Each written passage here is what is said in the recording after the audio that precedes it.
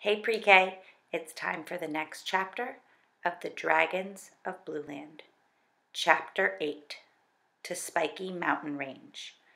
Where are we going to rest tomorrow? asked Elmer, biting off a corner of the chocolate bar to help him stay awake. I'm trying to get all the way to Spiky Mountain Range, said the dragon. No more Mr. Wagon Wheel for me if I can help it. He's awful. A searchlight! Ah! Interrupted Elmer as a beam of light shot up from below, lighting up the dragon's gold colored wings. It's from that ship, Elmer. They saw me last night, too. Hold on tight. I'm going to try to dodge it, yelled the dragon, swooping, diving up and down, and swerving from side to side. Elmer grabbed the dragon's neck and held on as hard as he could. He didn't dare open his eyes, but he could hear men shouting on the ship. Right! Move to the right! Faster! Faster! Hey, I think something's riding, whatever it is. It looks like a boy, shouted another man. And then the moon slipped behind the cloud bank, and the dragon escaped the beam of light and flew frantically through the darkness, while the light danced over the sky, still looking for them. Good work, said Elmer, feeling dizzy and quite sick.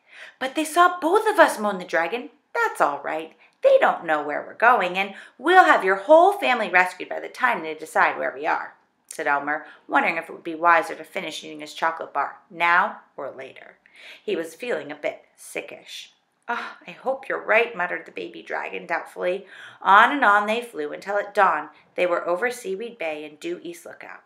The dragon swung westward over Seaweed City and landed in a forest on Spiky Mountain Range. He was so tired that he fell asleep before he had time for a drink of water. Elmer finished his chocolate bar, ate another, and a whole box of fig Newtons. Then he drank from the mountain stream and curled up beside the sleeping dragon. Luckily, they didn't know who had seen them over in Seaweed City. Ever since Mr. Wagon Wheel had glimpsed the dragon Thursday, he had been trying to persuade his neighbors that he really had seen a big blue demon. No one believed a word of his story, but he had bothered the whole town so much that they had to report it to the Seaweed City Police. He had planned to go on Sunday, but changed his mind in the middle of Saturday night. He woke Mrs. Wagon Wheel. You take care of the morning milking, and I'll be back in time for dinner. I'm taking the horse and wagon. But, said Mrs. Wagon Wheel, I'm off, said Mr. Wagon Wheel, and Mrs. Wagon Wheel heard the kitchen door slam behind him. So at dawn, just as he was trotting through the outskirts of Seaweed City, Mr. Wagon Wheel looked up in the sky to see what sort of day it was going to be, and he nearly fell out of his seat. The blue demon! he screamed, with a boy or, or something riding on its back. He looked around wildly for someone to show it to, but nobody was in sight. And by the time he reached the police station and had found someone to listen to him, Elmer and the dragon were safely hidden in the forests of Spiky Mountain Range. And guess what? You get an extra special treat today because we are going to read chapter 9, which is called Blueland.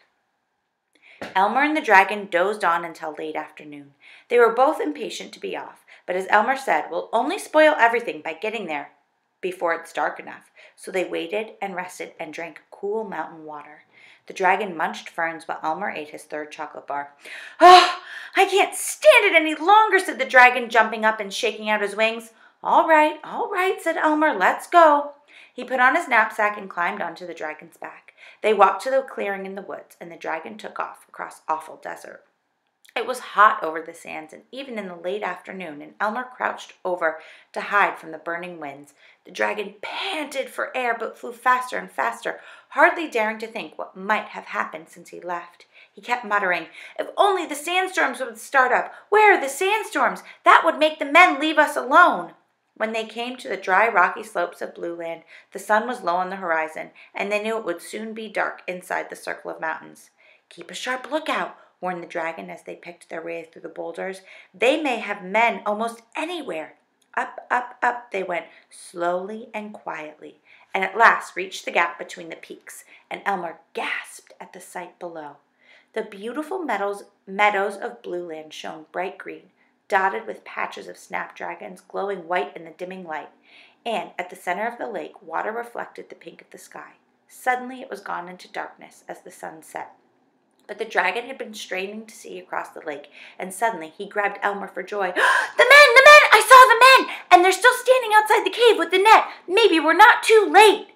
He hurried Elmer down to the giant's to the giant snapdragon bush which hid the entrance to the little tunnel. I don't think they found it yet, he whispered happily as he pulled aside the roots and rocks.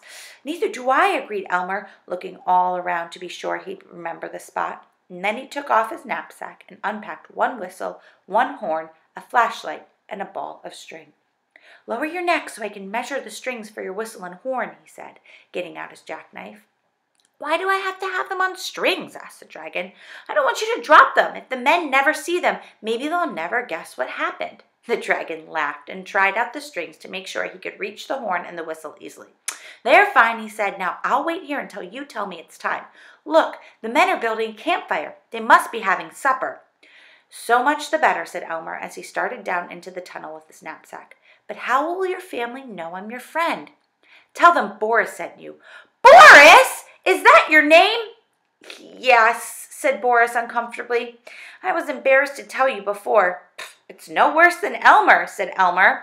I suppose not, and it's certainly not so bad as some of them in my family. I might as well tell you the rest. My sisters are Ingeborg, Eustacia, Gertrude, Bertha, Mildred, and Hildegard, and my brothers are Emil, Horatio, Conrad, Jerome, Willem, Dagobert, and Egmont. Can you imagine? But hurry, I can't wait to hear what's been happening to all of them. Once inside the tunnel, Elmer snapped on his flashlight and shot it over the damp walls. The ceiling was high enough so that he could walk easily. Down, down, down he went, around the curves and through the small rooms, and then more narrow tunnels until at last he came to the place where the dragon had gotten stuck. He heard scratching and scraping noises, and he knew he must be very close to the dragon family. It's Elmer Elevator, Boris's friend, he whispered, as bravely as he could. Who? the dragons asked. Elmer Elevator, I'm Boris's friend. Boris is out at the entrance to the tunnel, and I've come to rescue you. Turn off your light and come in, whispered another voice, and Elmer walked slowly into the darkness. He stopped and felt himself surrounded by huge forms breathing excitedly. We can't tell you how grateful we are, said the gigantic dragon mother. Never mind that, whispered the father. What's your plan and how can we help? We're almost starved to death. Oh, I have some chocolate bars, said Elmer generously, giving away his last three. Here, I'll open them up for you. They divided each into five pieces. I'm afraid it's not much, but it ought to help a little. He held his flashlight inside the knapsack and divided up the chocolate as he explained the plan. They all chuckled low, dra- dragon chuckles, and began to feel much better. Then Elmer made string necklaces for horns and whistles for all the dragons and carefully tied them around each dragon's neck. He wanted to take a really good look at the tremendous family, but they were near the entrance to the cave and he had to keep the flashlight in the knapsack. As he took out his cap pistol, he asked, Do you know how heavy the net is and how it's fastened across the entrance? No, answered the dragon father. Well, I'd better look, said Elmer. He quietly crept up towards the net, but the men were sitting close by, and he didn't dare get close enough to see it well. We'll have to trust our luck, he told the dragons as he started back through the tunnel to Boris. And that is the end of chapter 9. Tomorrow we will read chapter 10. Chapter 10 is called Escape. Now, before we read this next chapter tomorrow, I want you to take a minute and think hmm, what do you think the plan is that Elmer and the dragon have come up with? It has something to do with whistles, and it has something to do with a cap pistol, and it has something to do with the net. Hmm, I wonder what it could be. Before we start reading tomorrow, I want you to share your prediction with a brother or a sister or a grown up or a fur animal pet, and then at the end of the chapter, you can see if your prediction was right. Until then, goodbye.